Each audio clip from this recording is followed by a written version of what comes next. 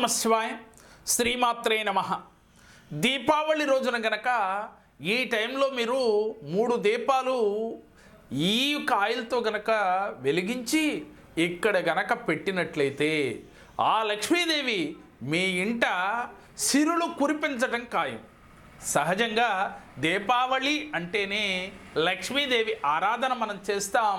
కానీ మీరు మాత్రం ఈసారి దీపావళి రోజున సాయం సమయంలో ఆరు గంటలు దాటిన తర్వాత మీ పూజా మందిరంలో మీరు మూడు ప్రమిదలు పెట్టుకొని చక్కగా అది కూడా మట్టి ప్రమిదలు పెట్టుకొని అది పద్మము ఆకారంలో ఉన్న ప్రమిదలు పెట్టి మూడు మూడు ఒత్తులు వేసి అంటే మూడు ప్రమిదల్లో తొమ్మిది ఒత్తులు వేసి ఆవు నేతితో ఈ మూడు ప్రమిదల్ని దీపారాధన చేయండి. మీ పూజా మందిరంలో అటుపక్క ఒకటి ఇటుపక్క ఒకటి వెలిగించండి.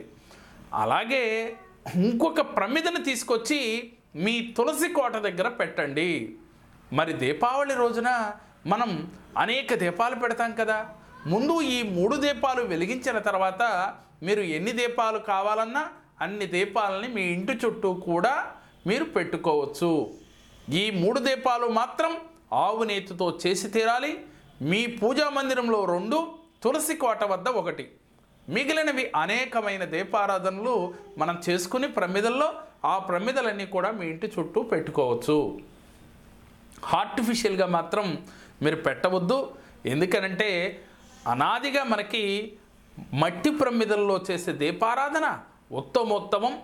ముఖ్యంగా ఈ దీపారాధనలో నువ్వుల నూనె ఆవు నెయ్యి శ్రేష్టమైనది. ఈ మూడు ప్రమిదల్లో మాత్రం మూడు మూడు చొప్పున తొమ్మిది ఒత్తులు వేసి ఆవు చేయండి. మిగిలినవన్నీ కూడా నువ్వుల నూనెతో చేసినట్లయితే మంచి శుభ ఫలితాలు వస్తాయి. ఆ లక్ష్మీదేవి మీ ఇంట కొలువై ఉండి తీరుతుంది. మీ ఆహ్వానాన్ని మన్నించి మీ ఇంటే ఉండి తీరుతుంది.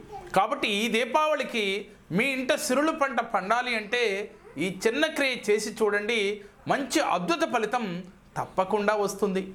అలాగే మరొక వీడియో దీపావళి రోజున మీ పిల్లల్ని పట్టి పీడిస్తున్న నరపేడ నరఘోష ఇవన్నీ తొలగాలి అంటే దీపావళి రోజున ఒక చిన్న క్రియ ఉంది. మరొక వీడియోలో తెలియచేస్తాను. ఆశాంతం మీరు చూస్తూ ఉండండి. మేం చెప్పిన ఈ వీడియో మీకు నచ్చినట్లయితే లైక్ చేయండి మీ ఫ్రెండ్స్కు షేర్ చేయండి. మా మరిన్ని వీడియోలు మీరు చూడాలి అంటే మా జేకేఆర్ భక్తి మా జేకేఆర్ జెమ్ టీవీని సబ్స్క్రైబ్ చేసుకోండి. ఓం నమ శివాయ్. నమస్కారం అండి. నా పేరు కేశవ రెడ్డి. నేను గుంటూరు నుంచి వచ్చాను. నేను ఆర్థిక సమస్యలతో బాగా సతమతన టైంలో జేకేఆర్ గారి దగ్గరకు వచ్చాను. వచ్చిన తర్వాత సార్ రెమెడీస్ చెప్పారు. ఆ రెమెడీస్ రాయటం మొదలుపెట్టిన తర్వాత రెండు నెలలకే నాలో మార్పు అవపడింది. నా ఆర్థిక సమస్యలు తీరిపోయాయి. ఇప్పుడు గృహం కట్టుకోవడానికి సిద్ధంగా ఉన్నాను నేను.